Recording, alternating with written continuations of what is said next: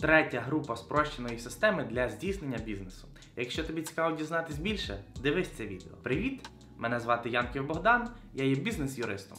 Я допомагаю підприємцям з юридичної точки зору будувати їхній бізнес. Допомагаю з податками, створенням, веденням та припиненням бізнесу, договорами та іншими юридичними нюансами. Якщо тобі цікаво дізнатись більше, підпишись на цей канал, щоб отримувати актуальні юридичні поради. Третьою групою спрощеної системи оподаткування можуть скористатися фізичні особи-підприємці, ФОПи або юридичні особи, приватні підприємства, товариства з обмеженою відповідальністю. Стати платником на третій групі можна з моменту реєстрації, подавши на протязі 10 днів з моменту реєстрації заяву про застосування спрощеної системи оподаткування, або з початку нового кварталу, подавши відповідну заяву до податкової за 15 днів до нового кварталу. Третю групу спрощеної системи оподаткування може обрати фактично будь-який бізнес без обмеження. Проте, хто не може бути на третій групі спрощеної системи оподаткування та загалом на єдиному податку, я розкажу на своєму каналі. Тому підпишись, щоб не пропустити це відео. Основною характеристикою третьої групи є те, що платник на третій групі зобов'язаний платити 5% від обороту. Витрати у третій групі не враховуються. Математика виходить проста: заробив 10 тисяч, сплатив 5% і все.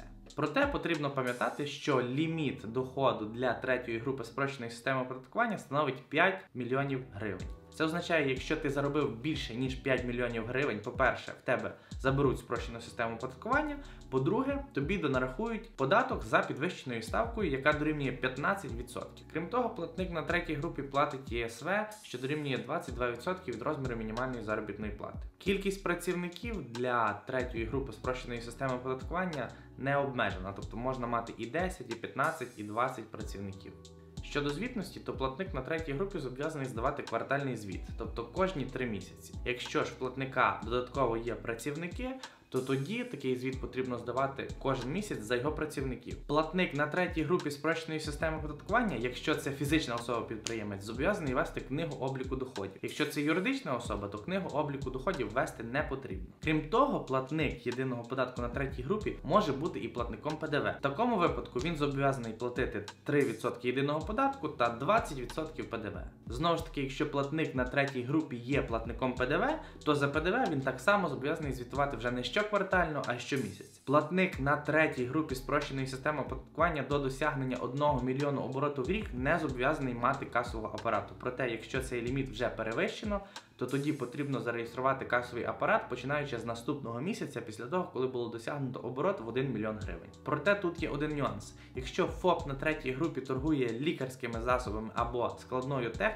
то він зобов'язаний мати касовий апарат незалежно від обсягу обороту виручки. Одною із найвагоміших переваг третьої групи спрощеної системи оподаткування є те, що такий платник може працювати із платниками на загальній системі оподаткування. Це означає, що платник на загальній системі оподаткування може здійснити банківський переказ коштів платнику на спрощеній системі оподаткування, і це буде законно. Причому платник на загальній системі оподаткування включить собі таку операцію у витрати, а платник на спрощеній системі оподаткування просто заплатить 5% з обороту. Зазначу, що перша і друга група спрощеної системи оподаткування не можуть працювати із платниками на загальній системі. Вони можуть надавати тільки послуги населенню або іншим платникам на спрощеній системі оподаткування. Якщо в тебе є якісь запитання щодо третьої групи спрощеної системи оподаткування, то ти можеш сконтактуватися зі мною за допомогою контактних даних, які є на моєму сайті. Посилання я залишу в описі під відео. Так само обов'язково залишай свої коментарі. Я обов'язково відповім. Постав цьому відео лайк, підпишись на канал, постав дзвіночок, щоб не пропустити нові відео. Побачимось в наступному відео.